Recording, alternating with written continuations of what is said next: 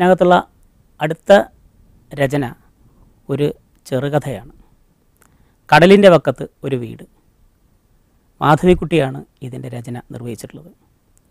അവരുടെ പ്രധാന കൃതികൾ മാധവിക്കുട്ടിയുടെ സമ്പൂർണ കൃതികൾ പക്ഷിയുടെ മണം തണുപ്പ് ചന്ദനമരങ്ങൾ നീർമാതളം പൂത്തകാലം കടൽ മയൂരം അങ്ങനെ ഒട്ടനവധി കൃതികൾ അവർ രചിച്ചിട്ടുണ്ട്. ഇതിലെ കഥ എന്ന് പറയുന്നത് അറുമുഖം അദ്ദേഹത്തിന്റെ ഭാര്യ ഒരു ചെറുപ്പക്കാരൻ. മൂന്ന് പേരാണ് ഈ കഥയിൽ പ്രത്യക്ഷപ്പെടുന്നത്. മദ്യപിച്ച് ലക്ക് കെട്ട് ഉണ്ടായിരുന്ന ജോലി പോലും നഷ്ടപ്പെട്ടവനാണ് അറുമുഖം. അദ്ദേഹം ഇപ്പോൾ ഭാര്യയോടൊപ്പം കടലിന്റെ വക്കത്ത് ആണ് താമസിക്കുന്നത്. മേൽക്കുരയില്ലാത്ത വീട്ടിലാണ് താമസിക്കുന്നത്. ഭാര്യയെ സംബന്ധിച്ചിടത്തോളം അവർ വളരെയധികം ദുഃഖിതയാണ്. ഒരുപാട് ജീവിത സൗകര്യങ്ങൾ വേണമെന്ന് ആഗ്രഹിക്കുന്നവരാണ് ഈ അറുമുഖത്തിന്റെ ഭാര്യ. പക്ഷെ അവരുടെ ഉള്ള സൗകര്യങ്ങൾ പോലും ഇല്ലാതാവുന്നു. ഈ സമയത്താണ് അവിടെ ചെറുപ്പക്കാരൻ പ്രത്യക്ഷപ്പെടുന്നത്. ചെറുപ്പക്കാരൻ ഇവരുടെ ദുഃഖങ്ങളോട് വളരെ നല്ല രീതിയിലാണ് പ്രതികരിക്കുന്നത്. ചോറ് വിളമ്പി കൊടുക്കുന്നത് കാണുമ്പോൾ ഒരു ഗൃഹലക്ഷ്മിയെ പോലെയുണ്ട് അവർക്ക് വേണ്ടി ഒരു ജോലി കണ്ടുപിടിക്കാൻ അദ്ദേഹം തയ്യാറാവുന്നു. പാട്ടിനെക്കുറിച്ച് പറയുമ്പോൾ തന്റെ തൊഴിൽ തീവണ്ടിയിൽ പാട്ടുപാടി ജീവിക്കലായിരുന്നു എന്ന് പറയുമ്പോൾ അത് അവർ പാട്ടിനെക്കുറിച്ച് സംസാരിക്കുന്നു. അവരോട് അദ്ദേഹം പറയുന്ന മറുപടി പാട്ട് കേട്ട് ഉണരാനും വേണം ഒരു ഭാഗ്യം എന്നാണ്. തന്റെ ദുഃഖങ്ങളെക്കുറിച്ച് പറയുമ്പോൾ ഈ കടലിന്റെ തീരത്ത് കടലിന്റെ കാറ്റേറ്റ് ആന ആകാശം നോക്കി കിടക്കാനും ഒരു ഭാഗ്യം വേണം എന്ന് പറയുമ്പോൾ സംഗീതത്തെക്കുറിച്ച് സംസാരിക്കുമ്പോൾ തന്റെ കയ്യിലുണ്ടായിരുന്ന ഏക സമ്പാദ്യമായ പുതപ്പ് അവർ ചെറുപ്പക്കാരന് നൽകുന്നു. പുതപ്പ് നൽകുന്ന സമയത്ത് അറുമുഖം അവരുടെ ഭർത്താവ് ചോദിക്കുന്നു ഏക സമ്പാദ്യമായ പുതപ്പ് നീ എന്തിനാണോ അവന് നൽകിയത്? അടുത്ത തണുപ്പ് കാലം നമ്മളെങ്ങനെയാണ് കഴിച്ചു കൂട്ടുക അതിനവരുടെ മറുപടി ഇങ്ങനെയായിരുന്നു. അയാൾ എന്നോട് സംഗീതത്തെക്കുറിച്ച് സംസാരിച്ചു. ഇതിൽ ചെറുപ്പക്കാരൻ വളരെ നല്ലൊരു പ്രതീകമാണ്.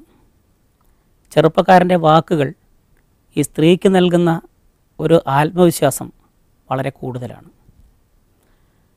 തനിക്ക് ദുഃഖങ്ങളാണുള്ളത്. താൻ തീവണ്ടിയിൽ പാട്ടുപാടി ജീവിക്കുകയായിരുന്നു. ആ തൊഴിൽ നഷ്ടപ്പെട്ടു. മറ്റൊരു തൊഴിലിന് വേണ്ടിയുള്ള അന്വേഷണത്തിലാണ് ആ ചെറുപ്പക്കാരൻ. തനിക്ക് ദുഃഖമാണെങ്കിലും തന്റെ വാക്കുകളിലൂടെ മറ്റുള്ളവരെ സന്തോഷിപ്പിക്കുന്ന ഒരു യുവാവനെയാണ് നാം ഇവിടെ കാണുന്നത്.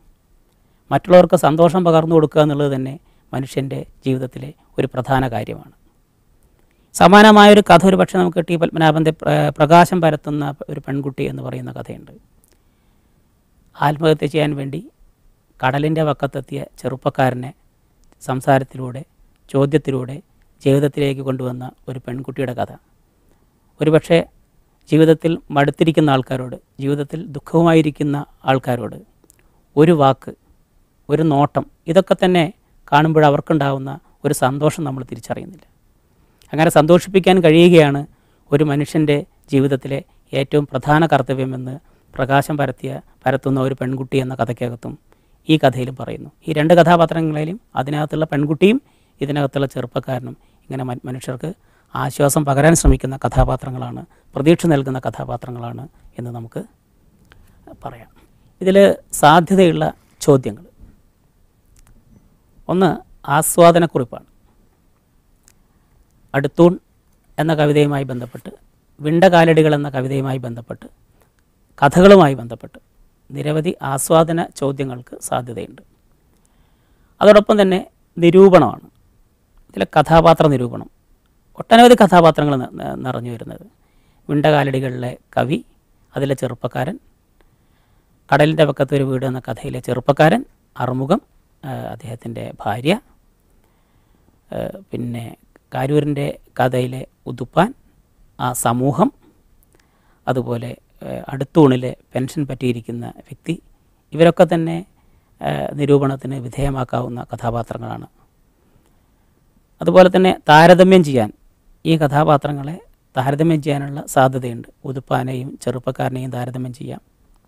അതുപോലെ തന്നെ അതേ കഥയിൽ തന്നെയുള്ള കടലിന്റെ പക്കത്തൊരു വീടിൽ നിന്ന് വീട് എന്ന കഥയിൽ നിന്നുള്ള ചെറുപ്പക്കാരനെയും അതിൽ തന്നെയുള്ള അറുമുഖത്തെയും താരതമ്യം ചെയ്യാം. ഇങ്ങനെ താരതമ്യത്തിന് നിരവധി സാധ്യതകളുള്ള ഒരു പാഠഭാഗമാണിത് ഒരു യൂണിറ്റാണിത്. അതുപോലെ തന്നെ ഔചിത്യം കണ്ടെത്തൽ പ്രത്യേകിച്ച് കവിയുടെ ജീവിതവുമായി ബന്ധപ്പെട്ട കാര്യങ്ങൾ. എന്റെ ശക്തി സംഭരണികളാണ് ഈ വിണ്ടകാലടികളെന്ന് പറയുന്നിടത്തുള്ള അതിന്റെ പ്രത്യേകതകൾ. ഇങ്ങനെ തലക്കെട്ടിന്റെ ഉൾപ്പെടെ ഔചിത്യം കണ്ടെത്താനുള്ള ചോദ്യങ്ങൾക്ക് സാധ്യതയുണ്ട്. പിന്നെ പ്രയോഗങ്ങളുടെ പൊരുൾ കണ്ടെത്തൽ ഇത്രയും ചോദ്യങ്ങൾക്ക് ഈ യൂണിറ്റിനകത്ത് സാധ്യതയുണ്ട്.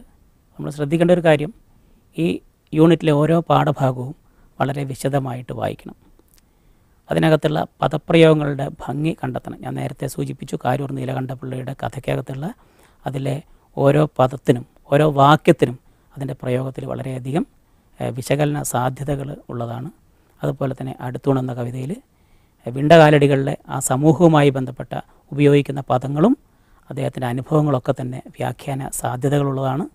ഇത്തരം വ്യാഖ്യാന സാധ്യതകൾ കണ്ടെത്തി അവ പ്രയോജനപ്പെടുത്താനും വളരെ നല്ല രീതിയിൽ പരീക്ഷ എഴുതാനും ഉയർന്ന സ്കോർ നേടാനും നിങ്ങൾക്ക് കഴിയട്ടെ എന്ന് ആശംസിക്കുകയാണ്. നന്ദി നമസ്കാരം.